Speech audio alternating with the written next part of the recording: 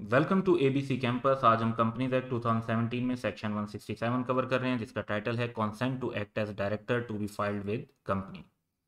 तो चाहे डायरेक्टर के तौर पर काम करना हो या चीफ एग्जेक्टिव के तौर पर करना हो तो उस शख्स की कॉन्सेंट हासिल करना बहुत ज़रूरी है। लॉ ने जो रिस्ट्रिक्शन इस सिलसिले में लगाई हुई है, वो ये है कि अनलेस अ पर्सन जो कि एक इंडिविजुअल होगा, क्योंकि डायरेक्टर या चीफ एग्जेक्टिव जो है, वो नेचुरल पर्सन होते हैं। Has given his consent in writing writing भी जो कॉन्सेंट जो है, वो जबानी नहीं होनी चाहिए राइटिंग में होनी चाहिए।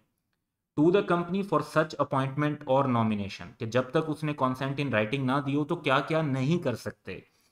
He shall not be appointed or nominated as a director or chief executive यानी किसी कोई राइटिंग में कॉन्सेंट के बगैर उसे डायरेक्टर या चीफ एग्जेक्टिव अपॉइंट या नॉमिनेट नहीं किया जा सकता।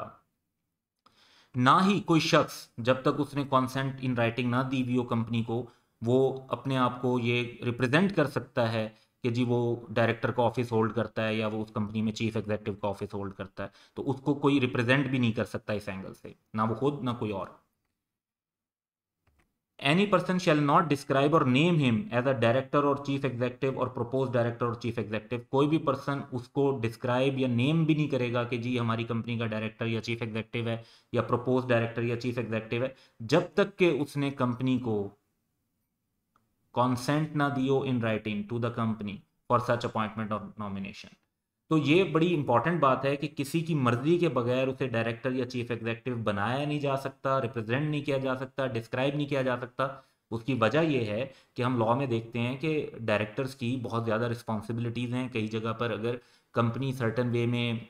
कंप्लाइंस नहीं कर पाती तो फिर जो पेनल्टीज़ लग रही होती हैं, वो डायरेक्टर्स को लग रही होती हैं, उनकी ऑब्लिगेशन क्रिएट हो रही होती हैं। तो किसी को उसकी प्रॉपर मर्ज़ी के बगैर, उसकी कॉन्सेंट राइटिंग में हुए बगैर, उसको आप इस पोजीशन पे नहीं ला सकते कि वो ये रिस्पॉन्सिबिलिटी खामा खा उठा रहा हो।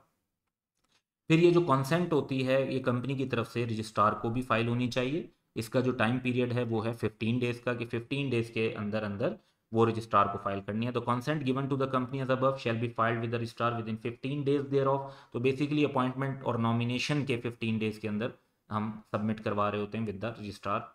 तो ये रिस्ट्रिक्शंस uh, थी और उसकी फाइलिंग की रिक्वायरमेंट थी। And that's all for today have a good day